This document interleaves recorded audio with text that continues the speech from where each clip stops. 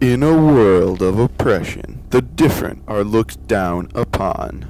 But now, one man, one very different man, is the only one who can save us. He was discovered in 1977. He is one of the oldest living organisms on Earth. You can usually find him spending times in extreme conditions such as in volcanic vents or wherever danger calls. He may or may not have flagella, he reproduces asexually through mitosis and binary fission every 20 minutes to 1 hour. He is only one cell.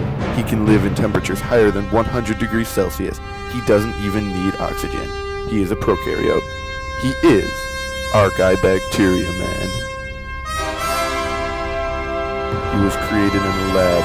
He is controlled by one of the oldest bacteria we know of. And he is the only hope we have. Now, in a quest to save all life as we know it, he must also discover his true self. Sir, it seems we have a problem. What is it? It appears the scientists have managed to recover some of the archaebacteria for a human host. We are no longer the only ones. Eubacteria man, we meet again. That we do. Why do we have to fight? Together we can do so much good in this world. Cause we're too different, and this world ain't big enough for the both of us. How are we different?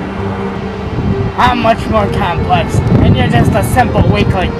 And we're, I'm also much more common. See? Clever boy. You may live in extreme conditions, but that doesn't mean you can survive a gun wound. Dead or alive, you're coming with me. For the crimes he has committed against nature, I declare him an outlaw! Mom, Dad, what is it?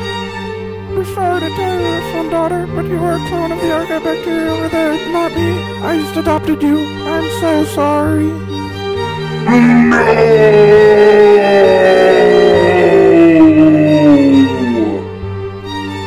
not have a nucleus or any membrane-bound organelles, but he's gonna save the world. All the bacteria with their thymine and uric acid will look up and shout, Save us! And I'll whisper, No.